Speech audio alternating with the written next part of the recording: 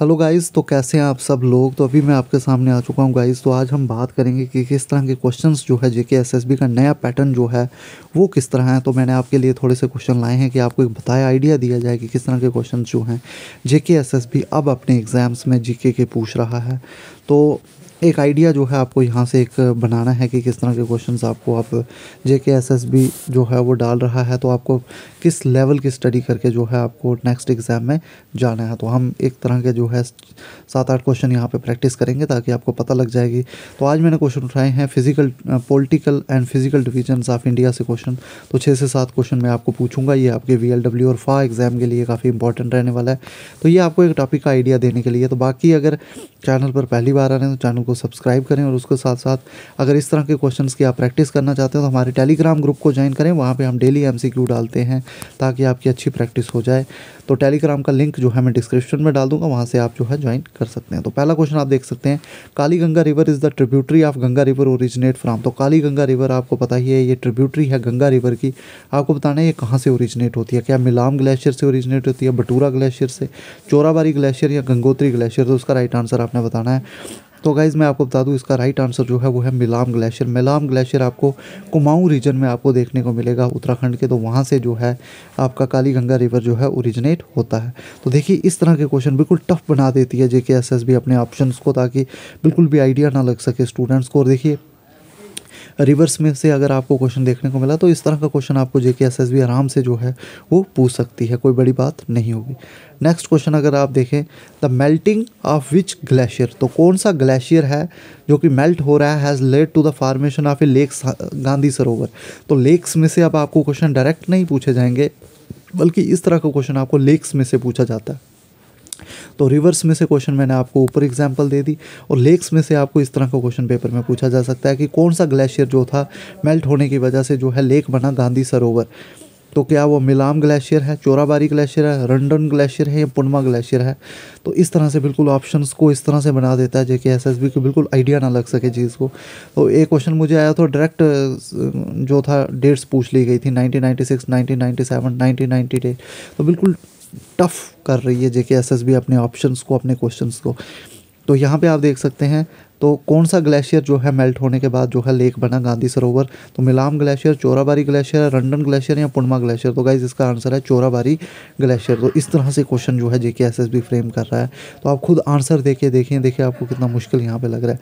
It is situated between Dhauladhar and Pir Panjal which is called the valley of gods तो कौन सी valley है जो धौलाधार और पीर पंजाल रेंज के बीच में है और जिसको वैली ऑफ़ गार्ड्स के नाम से भी जाना जाता है? क्या वो मलाना वैली है, सपीती वैली है, कुल्लू वैली है या कांगड़ा वैली है? तो गाइज़ खुद से आप आंसर देने की कोशिश करें और फिर देखें कि आपका आंसर जो है वो सही हो रहा है। तो गाइज़ इसका जो राइट आंसर है, वो है कुल्लू वैली कुल्लू वैली को वैली ऑफ़ गार्ड्स के नाम से भी जाना जाता है और ये धौलाधार और पीर पंजाल रेंज के बीच में आपको देखने को मिलेगी। तो इस तरह के question J K S S B आजकल जो है बिल्कुल आउट ऑफ़ द बक्स होकर क्वेश्चन पूछ रहा है ताकि इस तरह के क्वेश्चन पूछे जाएँ ताकि लड़का उस क्वेश्चन को ना कर सके स्टूडेंट उसको अटैम्प्ट ही ना कर सके। तो इस तरह के question J K S S B new frame कर रहा है।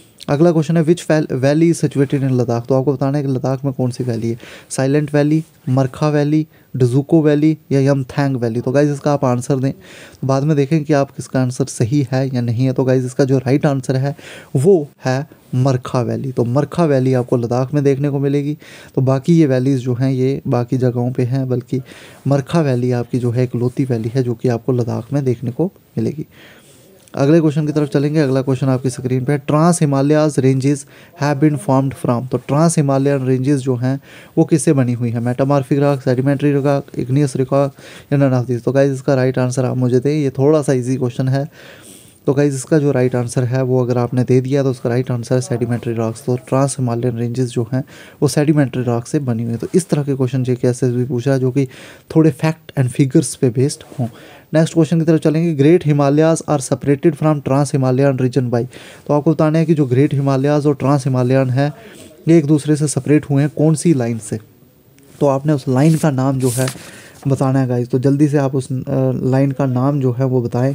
कि ट्रांस हिमालयन रेंजेस और हिमालयन रेंजेस जो है, वो कौन सी लाइन से जो है, वो अलग हुए तो गाइज़ इसका जो राइट आंसर है, वो आपने आई होप दे दिया होगा। इसका राइट आंसर है हिंग लाइन तो हिंग लाइन इसका राइट आंसर है और हिंग लाइन या फिर इसको इंडस सैंगपो सिच्योर जोन भी बोलते हैं। इंडस सैंगपो यहाँ पे मैं लिख लेता हूँ।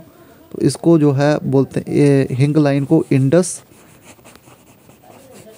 सैंगपो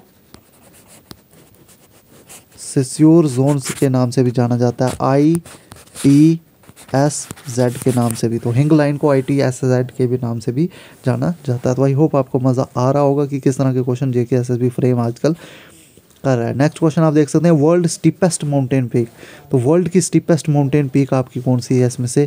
तो यहाँ पे अगर देखा जाए तो उसका राइट आंसर जो है वो है रकापोशी तो ये आपके लिए शायद मेरे हिसाब से ईजी आंसर रहा होगा।